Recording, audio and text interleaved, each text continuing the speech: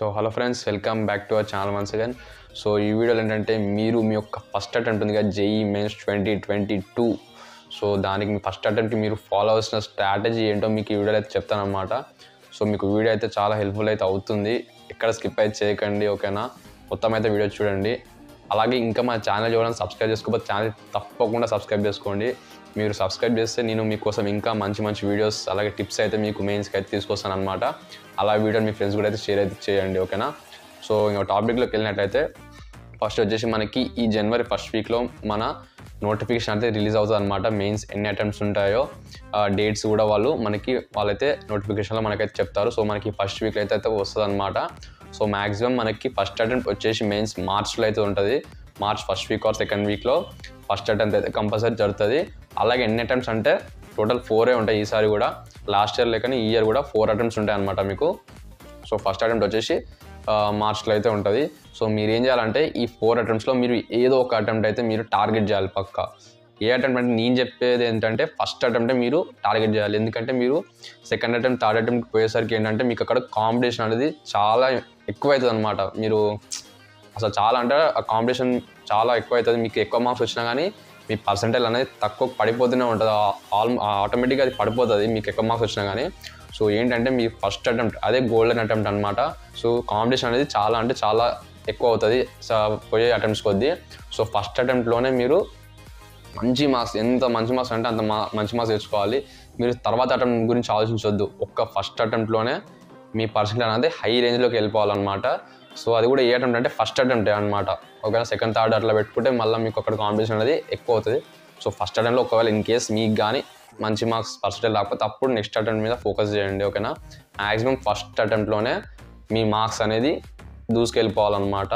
అట్లా ఉండాలి. తర్వాత అటెంప్ట్ మీద డిపెండ్ అవుతే కష్టం. మీరు మార్క్స్ పెంచి పెంచినా కానీ పర్సంటేజ్ అంతే ఉంటుంది పెరగదు అది ఓకేనా? సో ఇప్పుడైతే మీకు ఫస్ట్ అటెంప్ట్కి మార్చ్ సెకండ్ వీక్ వేసుకున్నా కానీ ఒక టూ టూ మంత్స్ అయితే మీకు గ్యాప్ అయితే ఉంది. ఒక ఫస్ట్ వచ్చేసి మీరు పోర్షన్ మీ పోర్షన్ అయితే మీరు కంప్లీట్ చేయాలన్నమాట. హండ్రెడ్ పర్సెంట్ అని నేను చెప్పాను కానీ ఒకవేళ మీరు జనవరి ఎండింగ్ వరకు ఈ వన్ మంత్ అయితే ఉంది కదా జనవరి మొత్తము ఈ జనవరి మొత్తం మీ పోర్షన్ కంప్లీట్ అయితే చూసుకోండి మొత్తం. ఒకవేళ ఇన్ కేస్ మీ జనవరిలో కూడా మీ పోర్షన్ కంప్లీట్ కాకపోతే అప్పుడు మిగతా చాప్టర్స్ అయితే ఉంటాయి కదా. ఆ చాప్టర్స్ వచ్చేసి వన్ షార్ట్స్ అయితే చూడండి. వన్ షార్ట్స్ కానీ ఆ ఫార్ములాస్ ఏమైనా ఉంటే అవన్నీ మీరు నోట్ డౌన్ అయితే చేసుకోండి. ఒకవేళ ఇన్ కేస్ మీ జనవరిలో మీ పోర్షన్ అది కంప్లీట్ కాకపోతే ఓకేనా? అప్పుడు వన్ షార్ట్స్ కానీ అవి అవి చూస్ చూసుకుంటా మీ ఉంటాయి కదా ఫార్ములాస్ అవి అయితే రాసుకోండి. ఎందుకంటే మనం చెప్పలేము అనమాట ఒక చిన్న ఫామ్లోకి వెళ్ళి అప్పుడప్పుడు ఈజీ క్వశ్చన్స్ కూడా అడుగుతారు మెయిన్స్లో సో మీరు మిస్ చేయడం ఎందుకు? ఏదో ఒక చూడండి ఆ చాప్టర్ వచ్చేసి మీరు ఒకసారి చూసుకొని ఫార్ములాస్ ఏమంటా ఫార్ములా చూసుకుంటే ఇన్ కేస్ ఏమైనా డైరెక్ట్ వ్యాలీస్ బెటర్ ఉంటే మీకు అక్కడ ఫోర్ మార్క్స్ ఈజీగా వస్తాయి. సో ఏ చాప్టర్ అయితే మిస్ చేయొద్దు. వన్ షార్ట్స్ అయినా ఒకవేళ మీ పోర్షన్ కాకపోతే వన్ షార్ట్స్ అయినా చూడండి. జనవరి మొత్తం మీరు సిలబస్ అయితే కంప్లీట్ చేయడానికి అయితే ట్రై చేయండి ఓకేనా? ఖచ్చితంగా హండ్రెడ్ పర్సెంట్ కంప్లీట్ చేసేయండి జనవరి వరకు. తర్వాత నెక్స్ట్ వచ్చేసి ఫిబ్రవరి అయితే ఉంటుంది కదా. ఫిబ్రవరి అంటే ఏంటంటే మీరు మీ యొక్క మాక్ టెస్ట్ అనేది ఇవ్వాలన్నమాట. సో మీరు ఎంత చదివారో కాదు కానీ మీరు ఎంత మార్క్స్ ఇప్పుడు వస్తున్నాయి మీ ప్రాక్టీస్ అదంతా దాని ప్రాక్టీస్ మీదే మీ మార్క్స్ అనేది డిపెండ్ అవుతుంది. అది ఎట్లా తెలుస్తుంది అంటే మీరు ప్రాక్టీస్ అయితే చేస్తారు కదా ఆటోమేటిక్ మీరు చాప్టర్ చేసుకుంటే కొన్ని క్వశ్చన్స్ డైలీ అవైతే ప్రాక్టీస్ చేస్తారు కదా.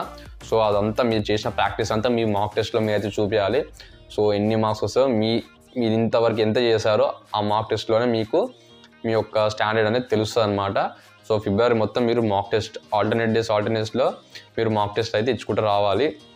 ఓకేనా? మీకు ఇంకా ఎవరైనా ప్రీవియస్ ఇయర్స్ కూడా పక్కా చేయాలన్నమాట మనం. ప్రీవియస్ ఇయర్స్ చేయకపోతే మళ్ళీ ప్రాబ్లం అవుతుంది. సో ఫస్ట్ వచ్చేసి మీరు పోర్షన్ కాగానే ప్రీవియస్ ఇయర్ ప్రాబ్లమ్స్ ఉంటాయి. మీరు చాప్టర్స్ తోటే చేస్తారు కదా నైల్స్. అయితే మీరు చాప్టర్ కంప్లీట్ కంప్లీట్ కాగానే మీరు అక్కడ పీవైక్యూస్ కానీ ఏమైనా ఉంటే అవి చేసేయండి ఓకేనా? ఆల్మోస్ట్ చేసి వచ్చిన నాకు తెలిసి అయితే మీరు. సో ఒకవేళ మీరు తర్వాత కూడా పోర్షన్ అయిపోయినా కూడా ఫస్ట్ వచ్చి మీరు పీవైక్యూస్ చేయండి ప్రీవియస్ ఇయర్ క్వశ్చన్స్. ఒక నియర్లీ ఇయర్లో ఒక five years last five years problems అయితే ప్రాక్టీస్ చేయండి. ఆ ప్రాబ్లమ్స్ అయిపోయిన తర్వాత డీపీపీస్ ప్రాక్టీస్ uh, చేయాలన్నమాట.